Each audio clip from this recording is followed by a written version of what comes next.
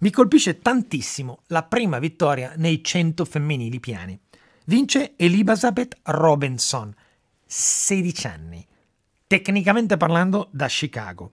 In finale batte la sua rivale che si chiama Cook, che ha due false partenze. All'epoca le false partenze non generavano la squalifica, ma la retrocessione. Ah, ti portavano un, un metro dietro, un per metro esempio. dietro. Nelle, nel mezzo fondo anche 10 metri dietro. Questa ha due false partenze, non la Eh, quindi- recupera più. eh, beh, chiaro. Ma la storia della Robinson, che sarebbe la medaglia d'oro qua, Mhm. però secondo me è battuta da un'altra storia che è più coinvolgente ancora, merita uno sviluppo. La Robinson, rientrata dalle Olimpiadi, ha un incidente aereo. Coma, viene ritenuta morta. Mhm. La consegnano al becchino.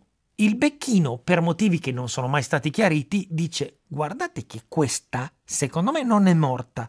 E in qualche modo riesce a provarlo dicendo questa respira. Il cuore sembra fermo, ma il respiro c'è. Non è morta, non la sotterro. La signorina Robinson si sta in coma per altri sette mesi. Si risveglia dal coma e si riprende e comincia a tornare a correre e a gareggiare. Fantastico. Salta le Olimpiadi del 32 a casa sua, ma vincerà la staffetta nel 36 a Berlino contro le tedesche che sbagliano l'ultimo cambio, cade il testimone. Sì, sì, ma lei ha vinto un altro oro a due Olimpiadi di distanza dopo essere stata già considerata morta probabilmente almeno due volte.